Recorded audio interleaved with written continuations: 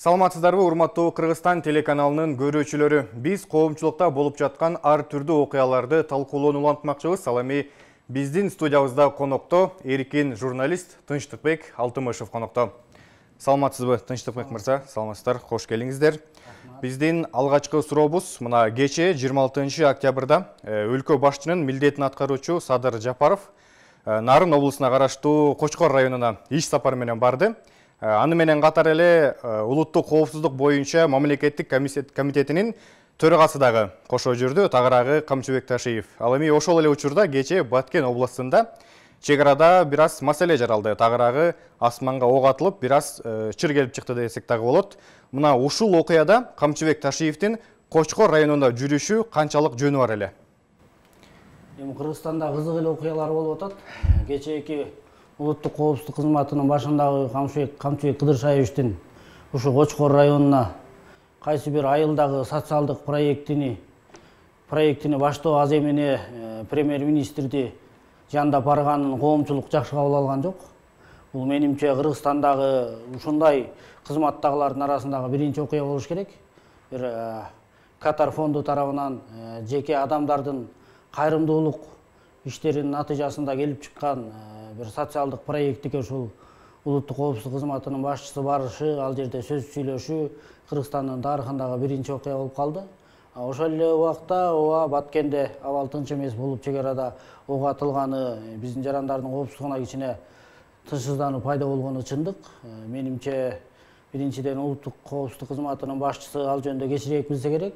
Баягы бул кокустук дал келүү ошентсе дагы эми улуттук коопсуздук кызматынын башчысы өлкөдөгү коопсуздукту коргонуу маселелерин карап тура турган биринчи адам. Ушул премьер министрди ээрчип алып кайсы бир ушул долбоорлордун бир аземдердин лента кесип капсула салган жерлерде жүрүшү туура эмес. Анын азыр алдыда көп аткара турган иштери турат. Мына досу өзүнүн премьер министр дагы коррупцияга каршы күрөштү жандандырабыз экстремизмди криминалдык топторго каршы күрөштү күчөтөбүз деп аткан мезгилде мен ал кишинин алчылап жүрүшүн туура көргөн жокмун. Демек ал негизи тез аранын ичинде ошол самолетторго отуруппу же болбосо кандайдыр бир жол менен ошол жака баруу жөнү бар эле.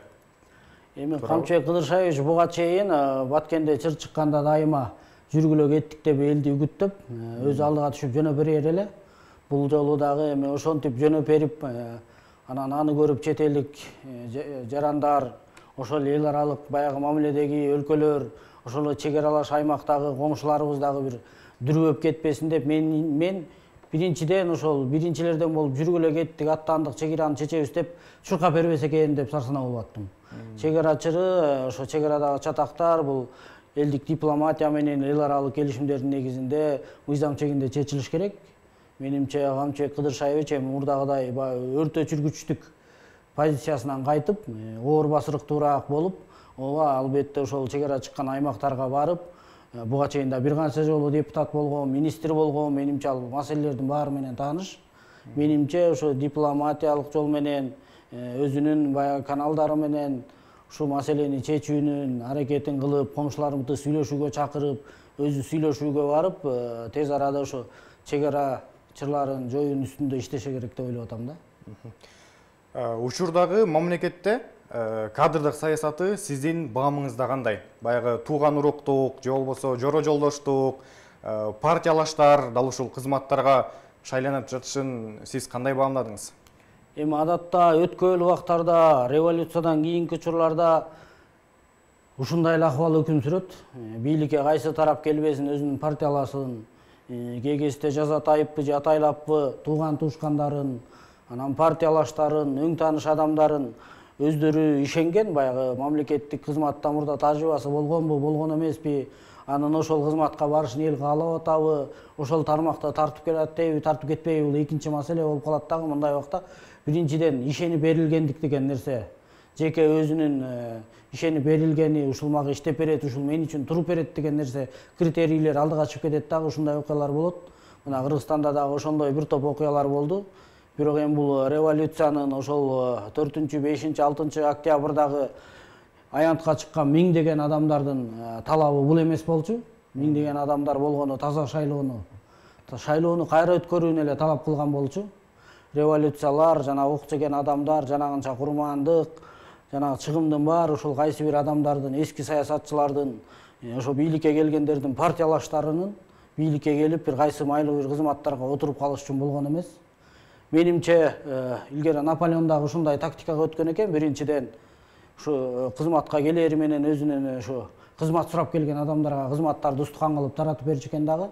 Анан кийин результат көрсөтө албагандан кийин эми мына кызматты берип көрдүм колуңа.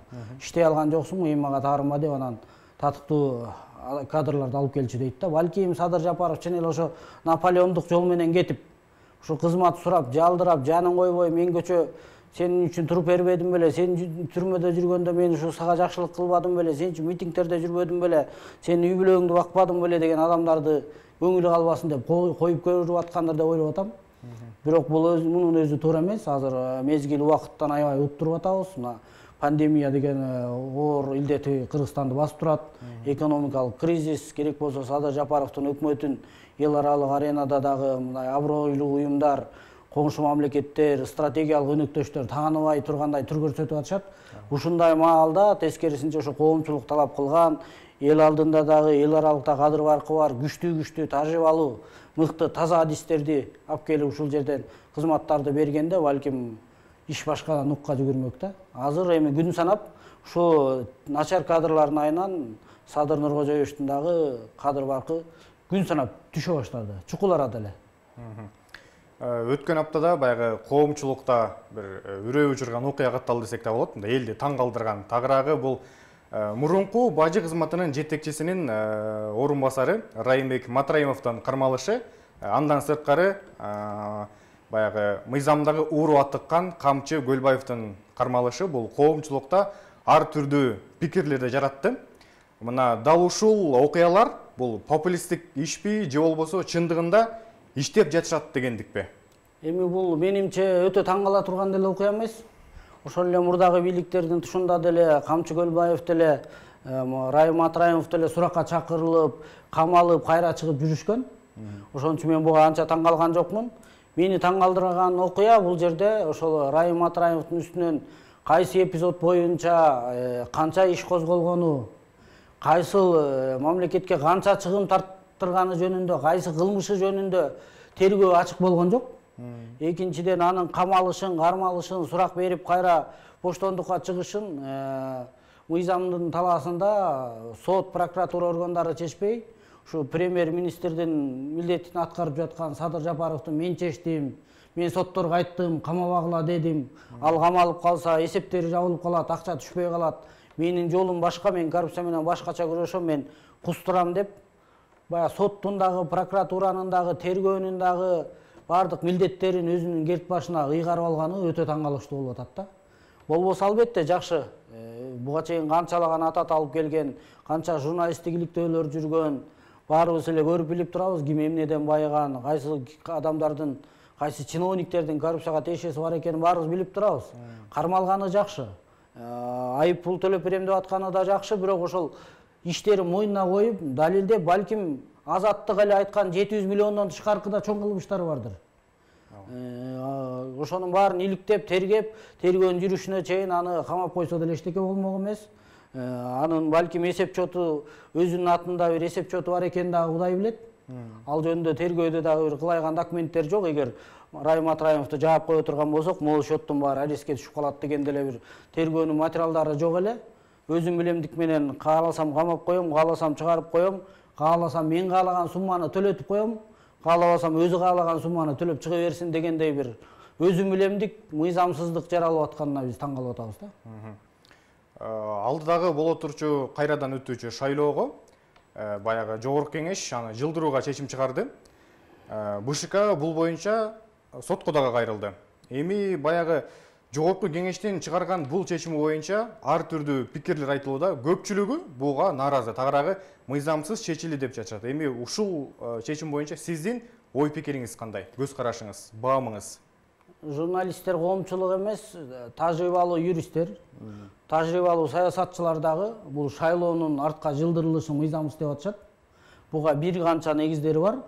Мен дагы кошулам эч качан мөөнөтүнөн мурда шайлоону жылдырып жиберип анын ортосунда реформага барабыз конституциялык реформага барабыз биринчи референдум кылабыз деп бир чыгышат бир туруп президенттик шайлоону мына биринчи кылабыз онунчу январда президенттик шайлоо өткөрөбүз деп атат кечээ эле кочкорго барганда ошо садыр жапаров айтты мен декабрдын башында президенттик шайлоого кетем эл катары январдагы шайлоого катышам деп андай болсо бүгүн президенттин да милдетин аткарып премьерликтин да милдетин аткарып жанагыдай эле сот прокуратуранын баарын милдетин баарын бир колго чогултуп алып туруп анан кайра шайлоого кетем деген бул эң чоң жоопкерчилик эгер шайлоого бара турган адам болсо мен башында фейсбукка да жазганмын өзүмдүн баракчама. Садыр жапаров абактан чыккандан кийин мекендештерин мекенчил партиясын ээрчитип алып рахмат мына акыры акыйкаттык келди биз эми адилеттүү шайлоого таза шайлоого барабыз менин колдоочуларым кудай буюрса шайлоодон жеңип чыгабыз парламентте утуп келип өкмөттү түзөбүз мен өкмөт башчы болом деп өзүнүн мекенчил партиясын ээрчитип алып шайлоого даярданганы кетип калса жакшы болмок жок ал кетпей мына президентти дагы спикерди да кат жаздырып арызын алдырып күчкө таянып колдоочуларына таянып баардык бийликти бир колго топтоп туруп анан бир айдан кийин кайра кетем дегени бул ошол шайлоого даярданганда мен баягы таза шайлоого даярданбай мен мурдагыдай эле мурдагы эски бийликтин жолу менен кетем. Тааныш тамырымды өзүмдүн командалаштарымды керектүү жерлерге кызматка коем. Эртең ошолордун баары мага шайлоодо иштеп бериш керек. Баягыдай эле административдик ресурс колдономбу башка жолдорду колдономбу мен шайлоого ушундай жол менен келем дегендей жеке мага таасир калтырып атат ошон үчүн мен парламенттик шайлоонун жыйырманчы декабрдагы биздин борбордук шайлоо комиссиясы койгон датасын туура көрөм ошол таза шайлоону талап кылган тогуз партия анын ичинде биздин республика партиясы мен да ошол партиядан талапкер катары мен шайлоонун жыйырманчы декабрда өтүшү ушул жанагы таза шайлоону эле биз эңсеген биз көксөгөн биз талап кылган эч кайсы күчтөргө тартпаган жанагы таза шайлоону өткөрүп берсе туура болмок. Парламент бул боюнча мына алтынбек сулаймановдор баш болуп жазган мыйзамды өзгөртүү киргизип уже биринчи окуудан өткөрүп коюшкан. Ошол эле форма экини жок кылуу жанагы күрөөнү чектөө күрөөнү бир миллионго түшүрүү беш миллиондон. Анан жанагы босого баллды үч пайыз кылган беш пайызга түшүрүү боюнча мыйзам даяр болчу ушуну эле үчүнчү экинчи үчүнчү окуудан колдоп берип ушул мыйзамды киргизип туруп жыйырманчы декабрда таза шайлоого партияларды кое берип анан ошол таза шайлоодон татыктуу жеңип келген партиялар кийинки өкмөттү курап анан шашпай конституциялык реформагабы шашпай президенттик шайлоогобу аттансак жакшы болмок. Биз мыйзамдарды одоно бузуу менен кетип баратканыбыз бул эртеңки күнү кайра эле ушундай окуялардан кайталанып мыйзамсыздык талаадан чыгып биздин эл аралык аброюбуз түзүп түшүп бизди эч ким тааныбай ушундай эле өзүбүз менен өзүбүз өзүбүздү мындай экономикалык саясий кризистерге кептей бере турганыбыздын далили болуп калды да биз мындай мыйзамсыздыктан кетишибиз керек болчу баягы борбордук шайлоо комиссиясы эми жогорку сотко кайрылбадыбы эми дал ушул жогорку соттун бшк тарабына чечилиши канчалык ыктымалдуу деп ойлойсуз. Менимче бүгүн сот бийлиги сот системасы соттор эркиндикти ала элек. Соттор дагы эле мурдагыдай эле азыркы убактылуу бийликтин көзүн карап ушулардын нажымы менен ушулар айткан чечимди кабыл алып берет. Булар бшкны колдобой тескерисинче ошол жогору жактагыла бийликтегилер айтып аткан тарапты колдоп берет. Ошолордун чечими чыгып менимче шайлоо ушу жарым жылга артка жыла турган болуп калды да. Анткени башкы иштер боюнча деле. Мисалы курсан асановдун иши боюнча атамбаевдин анын жан жөөкөрлөрүнүн жана башка толтура иштерди ну кыска эле убакта мына революция болду деп атабыз алтынчы октябрда. Андан бери мына жыйырма күн өттү. Ушул жыйырма күндө эле соттордун баягыдай эле үй жактын айдактатмасы менен иштеп аткан бир топ иштерде көрүнүп калды. Ошон үчүн мен сот бийлиги эч качан бшкны колдоп бербейт деп ишенип турам да. Төртүнчү октябрда өткөн шайлоонун баягы жыйынтыгынын жокко чыгарылышынын эң негизги себептерин баардыгыбыз жакшы билебиз. Мына дал ушул эле маселе боюнча мекеним кыргызстан менен биримдик партиясы өткөнкү каттоодо жыйырма төртүнчү октябрда бүттүк ошондо баягы өзүлөрүнүн шайлоого ниети бар экендигин билдиришкен жок.